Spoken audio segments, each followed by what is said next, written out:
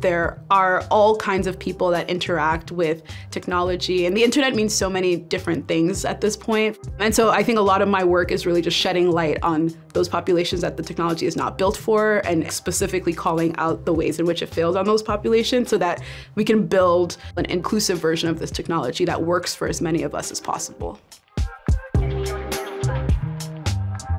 I'm Deb Raji. I'm a researcher at UC Berkeley, uh, and I'm also a Mozilla Fellow. I lead a project at Mozilla called the Open Source Audit Tooling Project. And what we do is that we think about the resources that are necessary for different accountability actors to be able to push back on the way in which technology and products might not be working very well or serving communities that tend to be marginalized and disproportionately impacted by these technologies.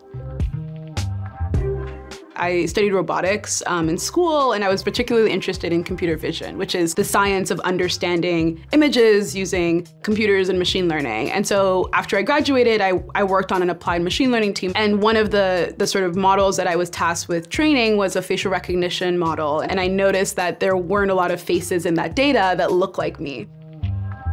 I tried to talk to my manager about it, colleagues, um, and just because of the the maturity of the conversation around bias at the moment, you know, a lot of people didn't understand what I was talking about. And so that led me to try to understand like who else is working on this.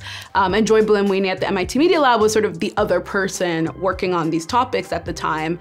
I started working with her and the Algorithmic Justice League on investigating the ways in which facial recognition technology fails for particular populations, specifically darker female faces. And since then, I've kind of gone on to investigate similar questions for other types of technologies and across various domains.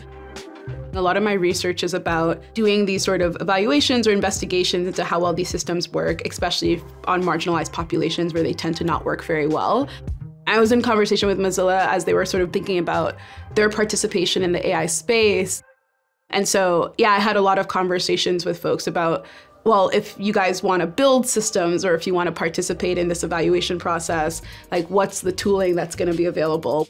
We ended up interviewing like over 30 audit practitioners and then also doing like a sort of landscape analysis of over 300 audit tools that were already out there and sort of created this visualization of, of what we saw as like an evolving ecosystem of tools in this space. I think it's great to be a RISE 25 honoree. I'm super excited every time I have any kind of recognition for the work I do.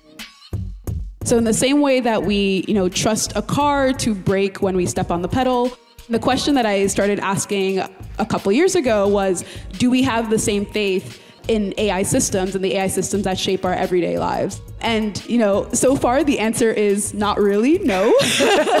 um, and so a lot of the work that I've been engaged in has been doing these evaluations and audits to reveal all the ways in which these systems fail, so that we can think about how to build more robust AI systems that serve everybody and not just a subset of the population.